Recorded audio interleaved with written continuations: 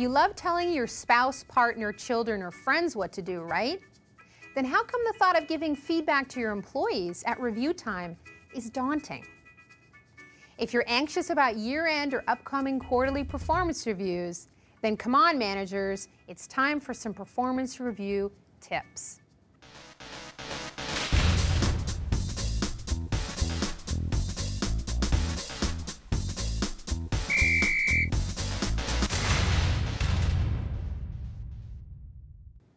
Each year, new managers around the world struggle with the same administrative task, performance reviews.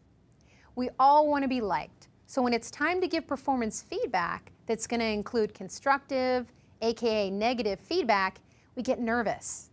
As a result, we avoid planning for reviews and then rush out of the gate with them. If this sounds like you, here are some best practices. Number one, prepare. Don't wing it. Focus on company standards and guidance from HR on what templates to use and how to collect data. Dedicate uninterrupted time to complete review documents, even if it means you're working at home to do it. This helps you evaluate the big picture, the entire review period, whether it's six months or a year.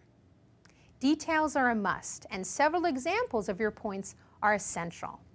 And remember to be objective. Put your emotions aside. This is business, not personal.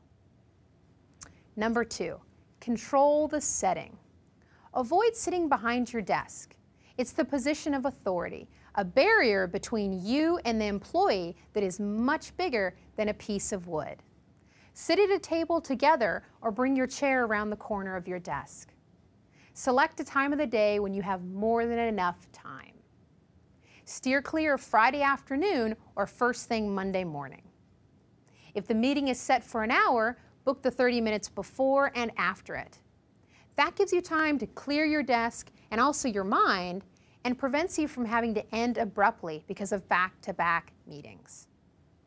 Number three, follow up. One of the worst things you can do is nothing after a review discussion. That says to the employee, I don't care, or this was just a check the box exercise. Follow up on what you and the employee discussed and decided upon as action items. Regularly refer to these during your weekly one-on-ones and quarterly check-ins. Performance feedback goes both ways. It's a loop, not a one-way street. Ask for upward feedback.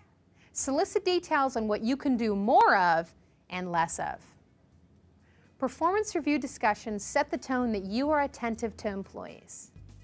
These dialogues are just as vital to workplace success as they are to personal happiness.